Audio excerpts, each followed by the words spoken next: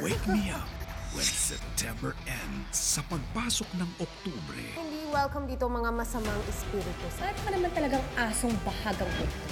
Puro taho. Magigising ka sa mga banggaan. Matabi lang tila ako sa mga taong gumagawa ng kalokohan. Ikaw pa talaga mumahamon sa akin. sa katotohanan. Bakit nandito si Robert? May kinalaman si Kuya Robert sa nangyari sa'yo.